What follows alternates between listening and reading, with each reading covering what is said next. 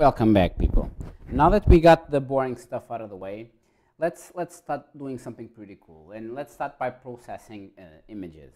So the first thing that you want to do is from import the PIL, and it's uh, a long process explaining what PIL is. So, but that's well, doesn't doesn't have any any um, interest, I suppose. So it's called PIL, okay?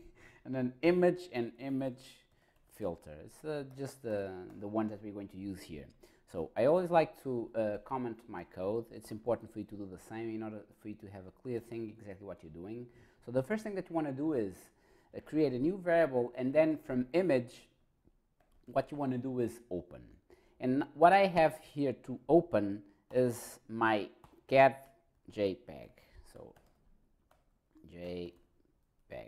I'm showing, I'm going to show you here, this is the cat that we're going to work with. So you're going to open this cat JPEG. You just need to store, um, you, you could put the, the whole URL here, but if you are storing the same, the same, the picture in the folder where you are running your Python code, you, you just can, you can use only the, the name and then the extension. So cat JPEG, see you have the cat JPEG inside my Python, pro, Python programs directory. So here we go.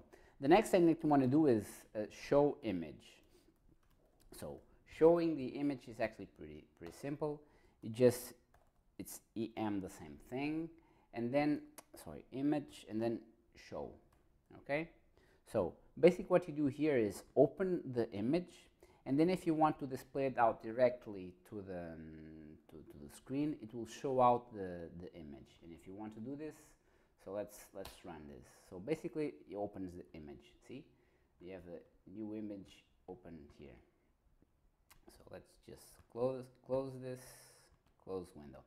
Now, if you wanted to to process the image to do something different, now we we can apply filters to the image, and there are several filters in in Python. We're going just to cover just just a couple of them, just for you to to see. There's actually some pretty cool ones. So applying filters to uh, image, just comment out the code again. Let's use just, I don't know, blur. So use the same name and then add what you are doing in order for you to understand exactly what the name of that variable is doing. So filter, image dot filter, and then the, the name is image filter dot Gaussian blur. And then in, inside here, you can use um, a number. And the number is basically the, the level of the Gaussian blur that is going to be applied to the, to the picture. So just choose like, I don't know, 5. So yes, I feel if you put like 5,000, it's completely blurred out. And if it's like 1 or 2, just, just one minor retouch. So 5 is, looks cool. So the next one that you can do is, let's say, I like this one. It's edge enhance more. So do the same thing, filter, and then open this out, and then it's image filter dot edge enhance more. Okay, and then the other one is m contour. I like this one as well. So m contour is equal to m filter, same thing. See, this is actually pretty easy. So m filter, and then image filter, same thing, and then contour. So now what you want to do is show uh, what you did to, to the image, okay? And actually, let's do another one. You can actually do rotation. So rotation is the same thing, just to do some properties to the image. And it's just image dot rotate. Let's say we're going to want to rotate the image 90 degrees. And instead of just um, uh, storing it to a variable, just want to show it out directly. And Python is not going to store in a variable, it's going to uh, buffer it out. So basically it's going to be cached and has like this weird name called zzz22248 blah blah blah. It's, it's just a temporary file for you to see the changes that you did. And actually I'm in the mood to, to give you one, one more. So let's change the, the RGB channel. So changing RGB channels. This is this is one that I really like doing. It's basically an image is split out in uh, red, green, and blue um, um, channels. So every time that you see a, a picture, basically a picture, the way that the computer sees it is just a bunch of dots. It's like um, lines, several rows by columns of, of dots. And each dot, um, each uh, has three channels, red, green, and blue.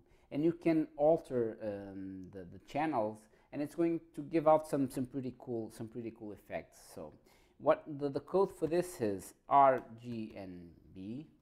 And you want to split the channels okay in order for you to do something with them okay? So this is the code to do it.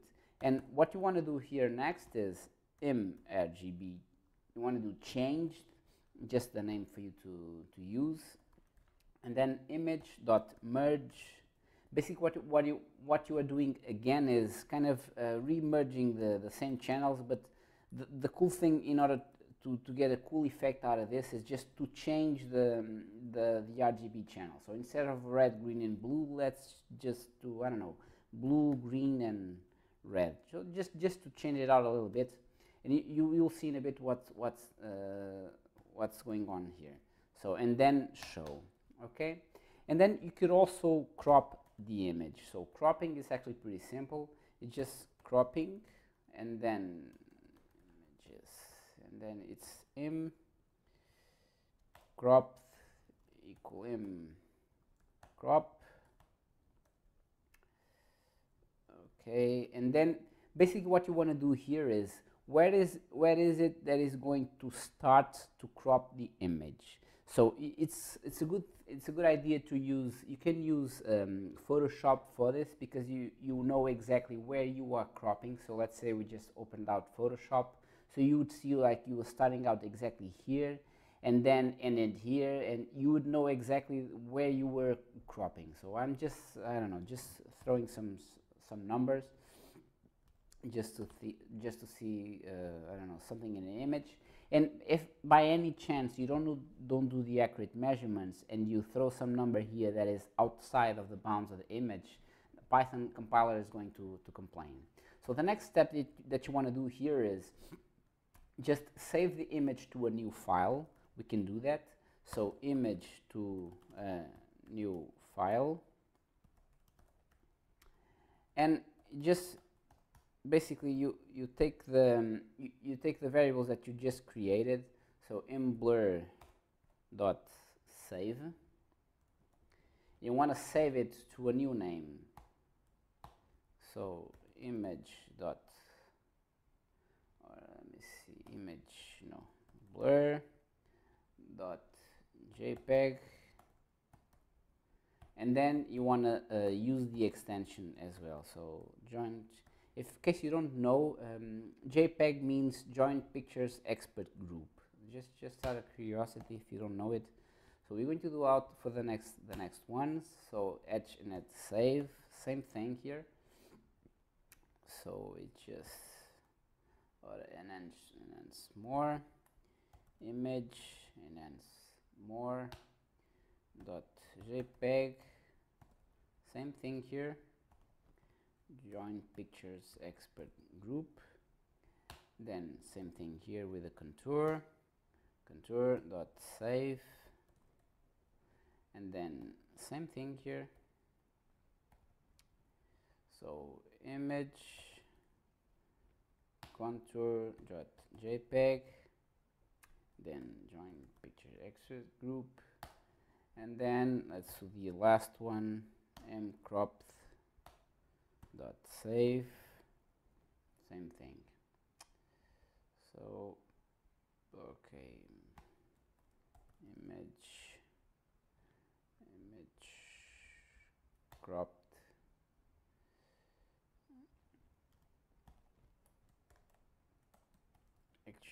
group. Okay.